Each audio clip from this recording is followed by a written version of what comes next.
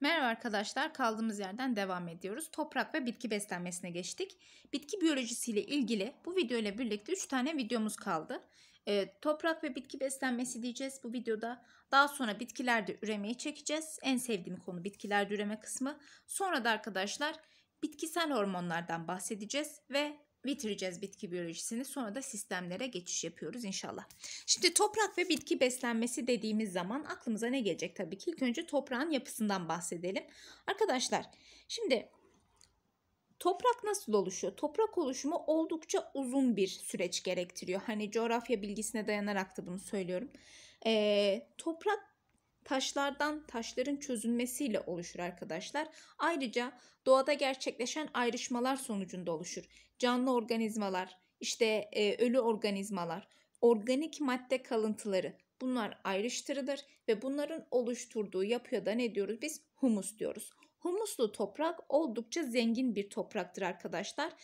E, humusla birlikte işte o doğadaki ayrışmalar da gerçekleşiyor. Bunlar birbiriyle karıştığı zaman ne oluşturuyor? Toprağın üst kısmını oluşturuyor. Yani toprağın A tabakası dediğimiz veya A horizonu dediğimiz horizonu oluşturuyor. Toprağın en üst kısmıdır ve en verimli kısmıdır arkadaşlar. Bitki büyümesi açısından da en önemli toprak tabakasıdır. Bitkiler ne yapıyor? Buradaki üst toprak kısmından besleniyorlar. Çünkü mineral maddeler olsun, işte diğer maddeler olsun, su, su olsun arkadaşlar genelde bu tabakada bulunur ve bu tabakadan da beslenmesini sağlar. Bir de B horizonu dediğimiz horizon vardır. Biraz daha orta kısımdır. Burada arkadaşlar daha az organik madde içeriyor burası. Daha böyle nasıl diyeyim size toprak değil de biraz daha e, taşla toprak arasında bir şey olarak düşünebilirsiniz. Hani e, bir kayaçla toprağın karışımı gibi bir şey düşünebilirsiniz arkadaşlar.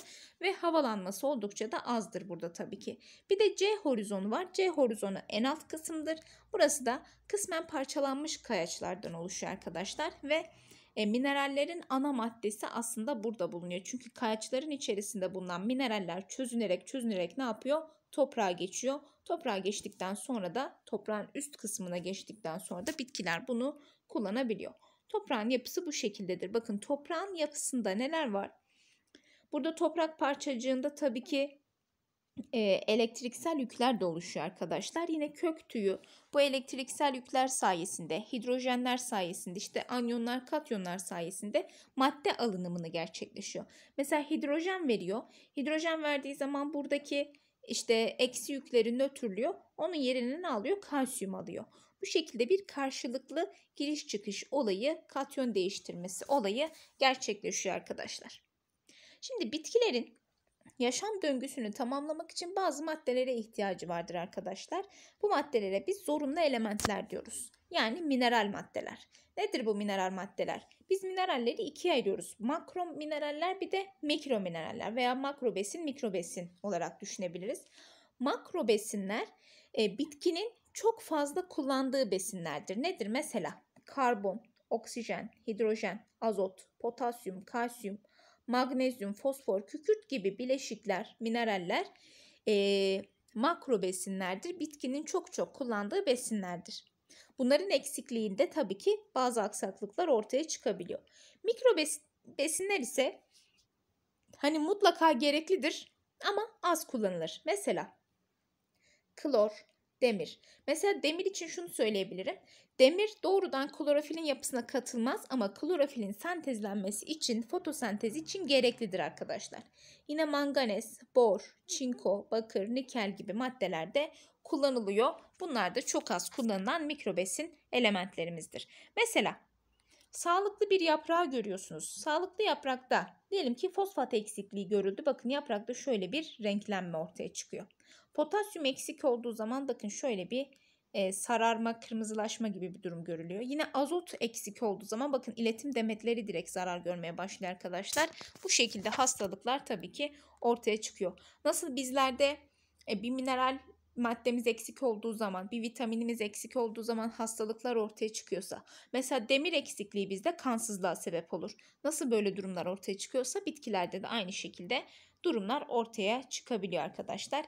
Yine bitkilerde azot oldukça e, gerekli bir maddedir ve bitkiler azotu atmosferden direkt olarak alamıyorlar. O yüzden de toprağa azotun bağlanması gerçekleşiyor arkadaşlar. Azot döngüsünde bunu detaylı olarak göreceğiz. Ne yapıyor? Atmosferdeki azot azot fikse eden bakteriler tarafından yani azot bağlayıcı bakteriler tarafından bağlanıyor. Daha sonra bu işte amonyağa dönüştürülüyor arkadaşlar. Yine amonyaklaştıran bakteriler vardır burada da.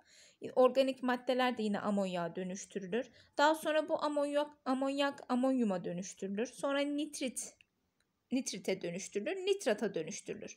Nitrata dönüştürdükten sonra artık bitki bunu alabilir arkadaşlar.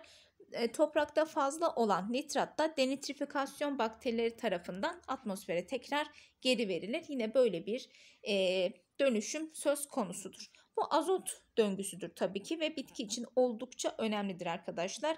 Bunu yapan e, bitkinin köklerinde yaşayan rhizobium dediğimiz bakterilerdir. Azot bağlayıcı bakterilerdir bunlar. Bunlar bitkilerde nodül oluşturuyorlar arkadaşlar. Bitki ile bakteri arasında gerçekleşen mutualist bir ilişkidir. E, simbiyotik bir ilişkidir. Bakın nodül oluşumunu mesela burada göstermişiz. Rhizobium bakterisi geliyor burada yerleşiyor buraya. Yerleştikten sonra arkadaşlar yani enfekte oluyor aslında kök tüyü. Daha sonra bu bakteriler ne yapıyorlar? Bakın içeriye doğru giriş yapıyorlar. İçeriye doğru girdikçe pericycle'a doğru giriyorlar. Pericycle'da hücreler bölünüyorlar arkadaşlar. Daha sonra bir bakterioid dediğimiz bir hücre kümesi oluşuyor. Daha sonra bu hücre kümesi gelişerek gelişerek gelişerek bir e, nodül oluşturuyor. Bakın şu bir nodüldür.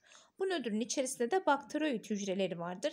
Daha sonra bu nodül büyüyerek büyüyerek ne yapıyor? Daha fazla bakterioidin içeri, içeriye yerleşmesine sebep oluyor.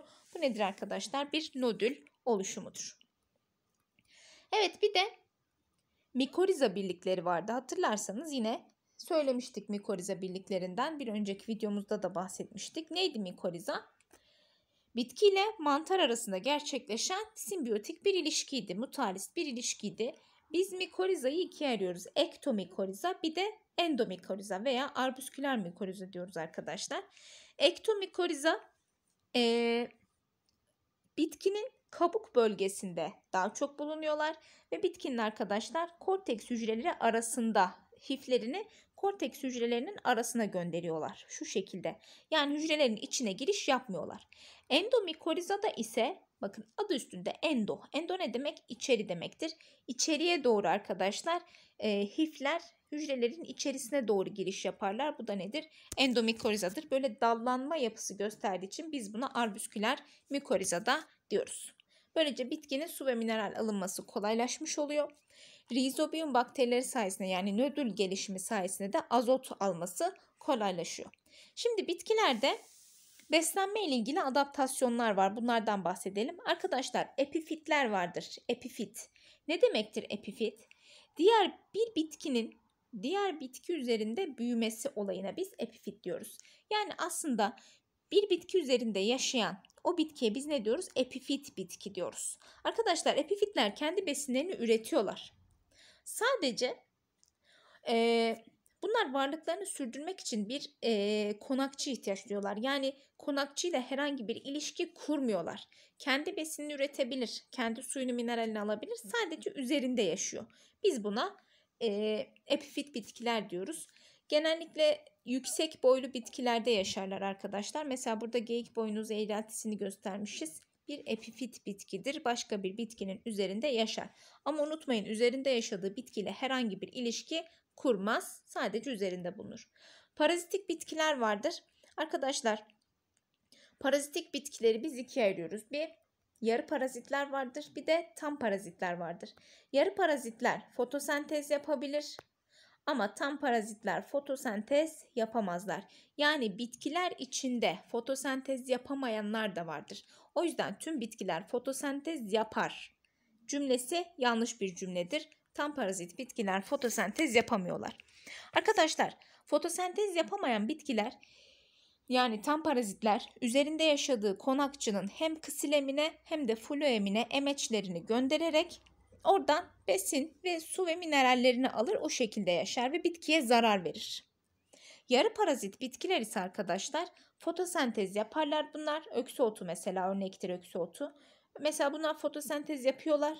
Ama arkadaşlar bunlar sadece bitkinin kısilemine yani odun borularına emeçlerini göndererek su ve mineral alır, fotosentezini kendisi yapar. Bu yüzden biz buna yarı parazit diyoruz. Tabii ki yarı parazit de zarar veriyor ama tam parazit daha çok zarar veriyor. O yüzden oldukça önemlidir. Bir de son olarak karnivor bitkiler vardır. Bazı bitkiler azotça fakir topraklarda yaşar. Özellikle böcek yiyen bitkiler mesela. Ee, azot ihtiyaçlarını karşılamak için de arkadaşlar küçük hayvanları yiyerek bu azot ihtiyaçlarını özellikle azot bakın başka mineral maddeleri de kullanırlar ama özellikle azot için bu olayı gerçekleştiriyorlar. İşte küçük sinek olur, böcek olur yani fareye kadar yiyebiliyorlar arkadaşlar. Bunlar oldukça tehlikeli bitkilerdir. Bakın mesela bir ibrik otu bitkisi şu ibrik otu e, ibrik şekline benzediği için bu isim verilmiştir. Yine bir sinek kapan bitkisi arkadaşlar. Şu bitkiler aslında evde yetiştirilebilir. Ben çok seviyorum bunların görünüşünü de çok seviyorum. Yetiştirenler de vardır illaki. Oldukça tatlı bitkiler bence şu sinek kapan bitkiler. Evet böylece bitkinin beslenmesinden bazı adaptasyonlarından bahsettik. Mikorizadan, nodülden bahsettik. Bu videoyu burada bitiriyoruz. Kısa bir videomuz oldu. Evet 11 dakikalık videomuz oldu. Bir sonraki videoda bitkilerde üreme kısmına geçiş yapacağız arkadaşlar. Sonraki videoda görüşmek üzere. Hoşçakalın.